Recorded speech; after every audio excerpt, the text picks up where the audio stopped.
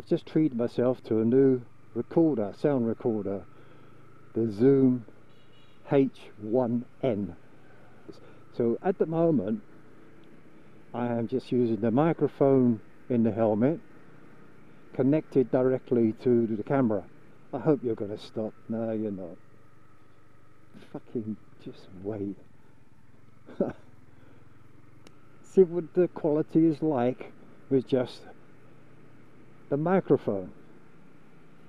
And the reason why I'm doing this test is because I'm going to then use the sound recorder connected to the microphone, then from the mi- connected to the microphone.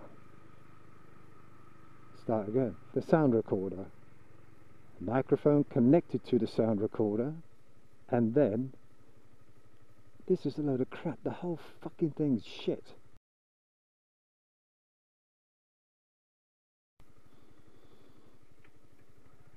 Well, this is a nice day to do a test.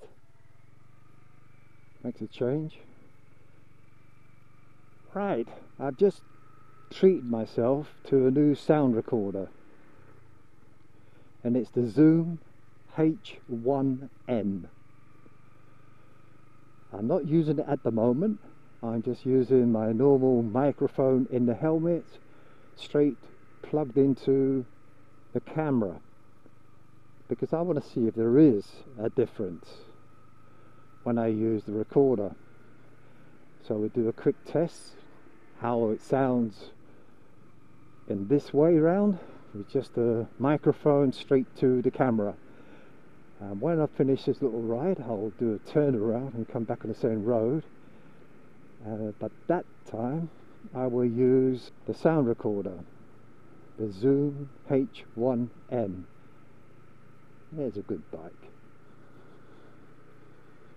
And uh, I will plug the microphone straight to the sound recorder and then from the sound recorder plug that straight into the camera so don't have to do any hand clapping to sync because it will be done automatically because I've got everything connected to the camera it would only record when I press record and as I leave on the zoom H1N on continuous it would only record what is picked up from that.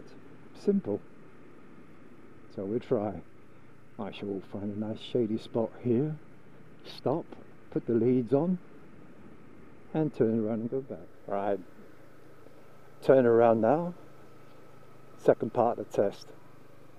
I have now the Zoom H1N connected to the camera. I've used the microphone lead going straight to the Zoom recorder and then from the recorder headphone socket straight to the camera. So therefore the sound is being filtered through the recorder before it goes to the camera and hopefully that way it will improve the sound. The sound quality of this wonderful, brilliant video. That is rice. Hello, rice. They lay it on the ground to dry it out. And then once it's dry, they put it in these like very, very, very, very large trays made of bamboo, a wicker, very thin.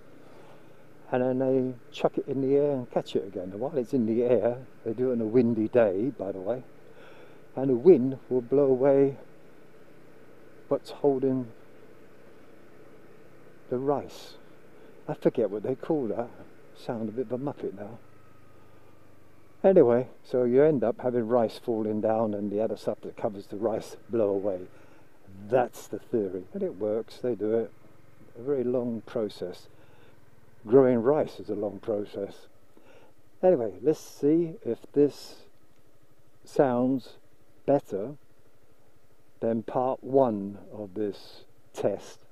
It's the rainy season over here in Vietnam at the moment, well, uh, our part of Vietnam, because the season seems to spread it across the country. The whole country doesn't get the same season at the same time.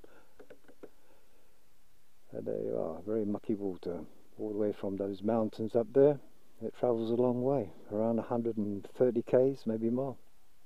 So folks that's the end of this test. Let me know what you think. Test one or test two. Test one is straight to the camera the microphone. Test two is to the recorder.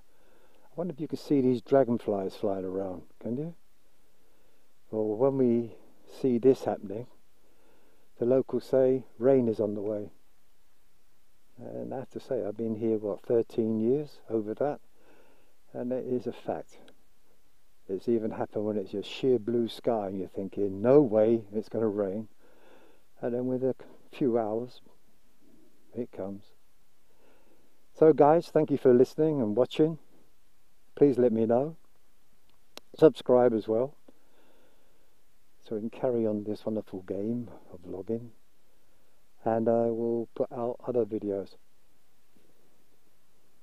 Catch you all later